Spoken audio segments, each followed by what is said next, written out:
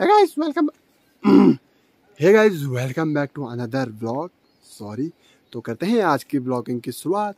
और अभी सुबह के बज रहे हैं। सुबह के बज रहे हैं अभी आठ। हाँ सुबह के बज रहे हैं अभी आठ बज के आठ मिनट हो रहे हैं। तो सबसे पहले शुरुआत करते हैं मौसम से डेली की तरह। तो मौसम देख सकते हैं हल्का फुल्का ख़राब हो रखा है। हालाँकि अभी तो धूप आ रही है हल्की सी धूप ज़्यादा नहीं है। तो अभी करते हैं ज़रा नाश्ता। तो उसके बाद करते हैं आज की ब्लॉगिंग की शुरुआत। और अभी हम ब्लॉगिंग की शुरुआत कर रहे हैं आज अपने पूरे खेतों से। इधर मेरे पीछे देख सकते हैं। और ये हमारा देसी करेला, जो कि काफ़ी अच्छा होता है। मतलब इसका जो टेस्ट होता है, वो काफ़ी प्यारा होता है। वो मतलब कड़वा करेला जैसा नहीं होता है। और बाकी इधर राजमा तो मैंने आपको इतना दिखा दिया, इतना दिखा दिया तीन चार ब्लॉग में तो आप लोग भी परेशान हो गए होंगे। बाकी यहाँ पे कद्दू का झील देख सकते हैं भाई यहाँ पे, इधर। काफ़ी बड़ा हो गया, लेकिन इस पर एक भी नहीं लगा। और इससे फूल देख सकते हैं भाई यहाँ पे। तो भाई अभी हम जा रहे हैं, हमारे एक गौशाला का रिपेयरिंग का काम चल रहा था। परसों मैंने आपको बताया था, ऐसे करके दिखाया था। तो सामने पे तो वहाँ जाएँगे। तो उसमें मतलब रिंगाल वगैरह डालना डालना है। तो वो दिखाएँगे अभी। और अभी आ चुके हैं हमारे भाई दिव्यांशु परसों मेरे साथ भविष्य बद्री आया था भाई। तो आगे पे जा रहे हैं भाई शैली। तो देख सकते हैं सामने पे रहा हमारा घर और अभी मौसम देख सकते हैं भाई काफ़ी प्यारा लग रहा है। और बाकी इधर पूरा हरा भरा और इधर आपको सामने पे दिखाएँगे कि हमने कहाँ जाना है। तो देख सकते हैं अब ये सामने पे थोड़ा जूम करते हैं इसको। तो गाइज़ ये है यहाँ पर गौशाला। तो इसका काम चल रहा है। ख़राब हो गया था काफ़ी। तो अभी हमने कहा, चलो सही कर देते हैं। आजकल खाली थे। तो अभी रास्ता वगैरह इधर से और जाएँगे। थोड़ा यहाँ पे कुछ ट्रैकर लोग आ रहे हैं इधर सामने से, चुनाव वैली से। तो थोड़ा उनमें से एक दो पहचान के हैं तो उनको मिलके जाते हैं ज़रा। नीचे से जाना ना? ये हमारे साथ था शैलेश है। बद्रीनाथ में ये यहीं थैंक का है। अच्छा बड़ी हिम्मत वाला है बच्चा। बहुत बढ़िया ट्रैक कराया। इसकी बात कर रहा था ना इसका भाई बहुत ज़बरदस्त पेंटर है और ये तो गाने वाने लिखता रहता है। सर हम ये जस्ट जी! अरे आपको याद कर रहा है सर प्रणाम शैलेश बढ़िया सर। पिछली बार तो ये हमारे साथ गया था ऊपर तक। और कैसे? हो बढ़िया बढ़िया। गुड गुड गुड तुम्हारी फ़ोटो तो दिखती रहती है। इसके भी। दिखती रहती है। दोनों दिखते रहते हैं। आपका बैग खुला हुआ है ये दिखेगा नहीं फिर कुछ कोई बात नहीं। अरे यार सब जगह ये सब गिर रहा। है सब गिर गया पकड़। कुछ है नहीं उसमें। मुझे लग रहा है कुछ गया सारे ही हम पिछले साल रुके थे ताज देखो हमारे। अरे क्या हाल है कुंदन सिंह जी? अरे आपकी ठीक हो? हाँ वो तो है ही। मुकेश भी आएगा बोल रहा था। अच्छा नहीं वो शायद आजकल विदेश में ऊपर अच्छा। माना बोल रहा अच्छा। वो हमने किरो में जो फूल लगाया था ना पिछली बार वो इन्होंने सारी तीन सौ किलोमीटर को बंदरी के लाए थे। और वो बंदर की तरह बंदी में लिपट के नदी के पार गए ताकि वहाँ से भी उसको जोड़ सके। और कैसे हो। और वापसी में वैसी का वैसी कोई बदलाव नहीं आया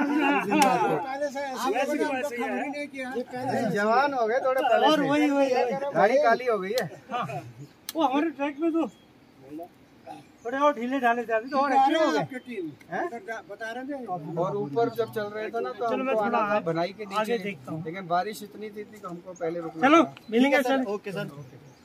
ठीक है बड़ी खुशी होती है तुम्हारा वो दोनों का देखता रहता हूँ। राजेश का तो तो एक्टिव रहते दोनों के दोनों गाड़ियाँ आप आपकी गाड़ी आएगी नीचे आइए। बोल रखी है जगदीश जी को बोल रखी हाँ। सर गाड़ी मिल जाएगी। चलो okay sir thank you sir वही आए तो नीचे भेज देना अगर रह गया अच्छा जी। कोट मेरे लिए? तो गाइस भाई अभी हम लोग पहुँच चुके हैं।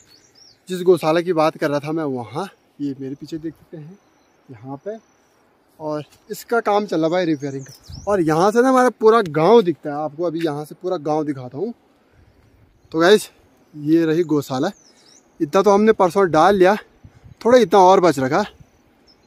यहाँ पे पूरा ख़राब हो गया था और बाकी ये दरवाज़ा भी आजकल नया डाला।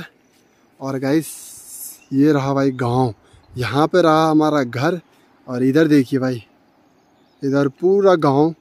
और यहाँ तक गाड़ी आती है। अभी आई तो नहीं, अभी गाड़ी यहीं तक आती है, लेकिन कुछ दिनों बाद यहाँ तक आ जाएगी, बाकी थोड़ा आधा गाँव इधर और तो गाइज़ देख सकते हैं भाई, फ़िलहाल आधी बन के रेडी हो चुकी है हमारी गौशाला। मतलब इसमें हमने ये रिंगाल डालना था तो रिंगाल डालने का काम पूरा हो गया। अब इसको ऊपर हल्का फुल्का घास घूस डालेंगे तो उसके बाद ये कंप्लीट हो जाएगा। तो ये रहे वो रिंगाल, इधर देख सकते हैं आप। ये भाई तो दोस्तों भाई अभी फाइनली जाके घर आके और अभी हम जा रहे हैं। गाँव में कोई बूढ़ी थी मतलब बूढ़ी दादी थी तो वो एक महीने पहले एक्सपायर हो गए थे। तो उनका श्राद्ध है आज गाँव के। बगल पे एक गाँव छोटा सा गाँव और है। वैसे ये भी हमारे गाँव में आता था में। तो अभी हम वहीं जा रहे हैं भाई शैली और मैं। पीछे दिव्यांशु भी आया था, वो पता नहीं किधर गया। तो आपको थोड़ा ये गाँव दिखाता हूँ। और बाकी यहाँ से तो व्यू यार एकदम जकास वाला है। तो दोस्तों, जिस गाँव की बात कर रहा मैं तो वो गाँव आप यहाँ सामने पे देख सकते हैं। छोटा सा गाँव है। लगभग पच्चीस तीस परिवार रहते होंगे यहाँ पे। और बाकी ये देख सकते हैं आप भाई यहाँ पे व्यू। पूरा इधर बादल ही बादल। और बाकी हम हम हमारा घर तो इधर है मतलब जो आधा गाँव है तो इधर साइड इसके पीछे रह गया। बाकी हमारे गाँव की सड़क यहाँ पे देख सकते हैं आप। और बाकी इधर ये नेशनल हाईवे यहाँ से तो लगभग पूरा दिख रहा है। इधर देख सकते ये है N H fifty eight sorry भाई ना जानो बात। तो ये रहा भाई वो गाँव।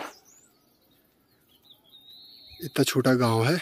काफ़ी अच्छा लगता है यहाँ से अगर आप इस गाँव को देखो यहाँ पर से। वीडियो में भी देख सकते हैं आप। तो दोस्तों, अभी शाम के छः बजने को है। छः बोला, साढ़े छः बजने को, एक सेकंड देख ही लेता हूँ। छः बज के उनतीस मिनट हो गया। तो करते हैं ये ब्लॉग को यहीं पे। और आई होप कि आपको आज का ये ब्लॉग काफ़ी ज़्यादा पसंद आया होगा। और पसंद आया तो आपको बताया करना क्या है वीडियो करना है लाइक करना है कमेंट करना है शेयर करना है। और अगर चैनल पर नहीं हो तो चैनल को कर देना है सब्सक्राइब सब्सक्राइब कर देना। और साथ ही साथ वो बेल आइकन को भी ऑन कर देना। बाकी मिलते हैं नेक्स्ट ब्लॉग में तब तक अपना ध्यान रखिएगा। जय हिंद जय विशाल बंदे मातरम। और आपको बता दो कि वीडियो मेरी सुबह आ जाती है छः साढ़े छः सात सवा छः सात बजे से पहले आ जाती है वीडियो। तो आप लोग ऐसी वीडियो देखते रहें।